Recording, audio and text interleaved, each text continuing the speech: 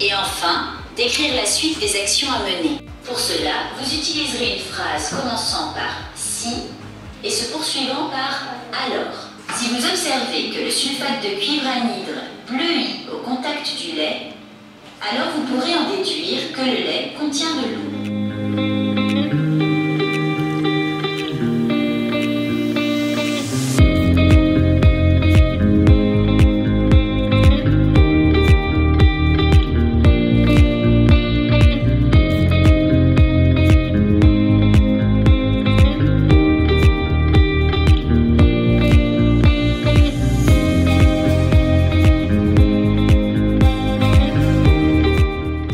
Fait troisièmement. Vous allez faire l'expérience.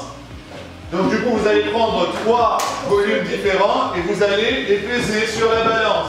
Est-ce que c'est clair? Très bien. Et vous allez faire un tableau pour les résultats que vous allez trouver. Est-ce que c'est clair? Oui. Très bien. C'est déchet. C'est accent. C'est H-E-R. Une balance. Ça, c'est les trois que vous avez besoin pour réaliser le- le- le- l'expérience. D'accord?